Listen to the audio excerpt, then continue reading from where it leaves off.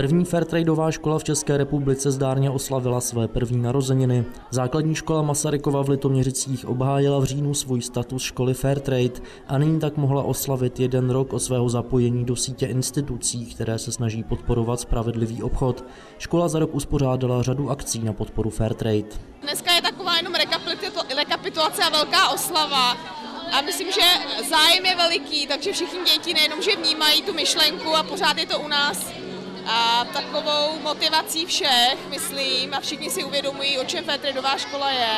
Termín Fairtrade je u nás možná stále pro mnoho lidí nic neříkajícím cizím názvem, ale v Litoměřicích, které je také Fairtrade městem a zvlášť na Masarykově základní škole mu rozumí všichni. Fairtrade je uh, spravedlivá odměna za práci, uh, proti dětské práci je Fairtrade, lepší podmínky pro děti a lidé z třetího kontinentu. Máme tady čokolády, čaj, další malé čokoládky, brambůrky, fairtradeovou kolu, bez kofeinu a ještě spoustu dalšího.